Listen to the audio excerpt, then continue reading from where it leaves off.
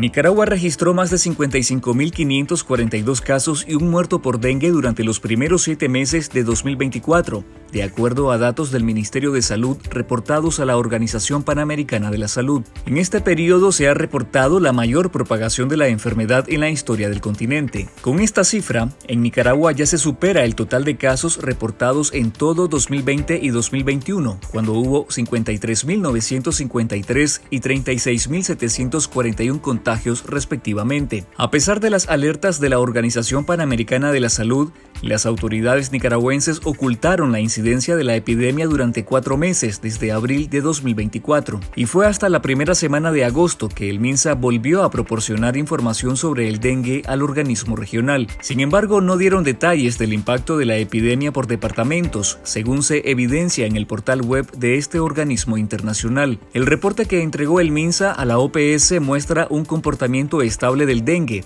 pese a las alertas y reportes de la región centroamericana. Según las autoridades nicaragüenses, la mayor incidencia de contagios ocurrió en las primeras cinco semanas de 2024, cuando hubo 3.825 casos nuevos cada siete días. De febrero a mediados de junio, el contagio de dengue se mantuvo por debajo de los 1.200 casos, pero desde la segunda quincena de junio hasta mediados de julio hubo un aumento al superar los 2.200 casos cada semana. Fuentes médicas indicaron a Confidencial que el MINSA ordenó a los directores de hospitales poner en alerta los centros y vigilar a todos los pacientes con fiebre. Además, los hospitales y centros de salud habilitaron unidades de atención de febriles para vigilar por 8 horas a todos los pacientes con fiebre para identificar signos de peligro. Lee más detalles en confidencial.digital.